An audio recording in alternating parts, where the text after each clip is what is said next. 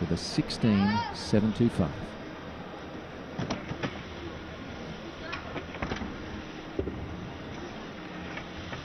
Full spin. Again, we're watching for these handstands.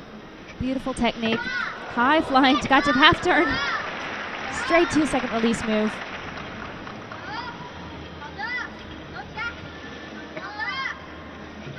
Another big little release move.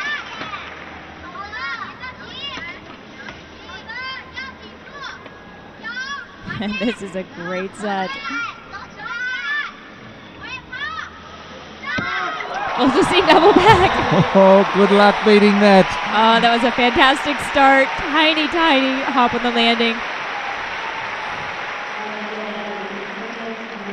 You can World see the full spins are beautiful. Enormous height on these release moves. In bar Jaeger. Again, judges really looking for those handstands. It's a little bit difficult to see from, from our angle. The judges will be looking from the side to make sure they're as close to vertical as possible.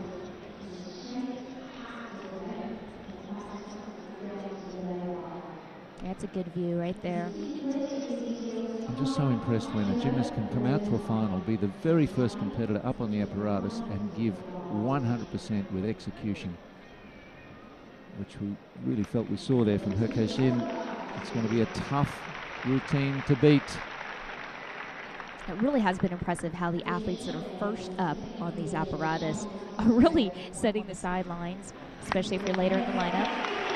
And a 15.933. That's that's up there. It's just under what she gave in the qualifying.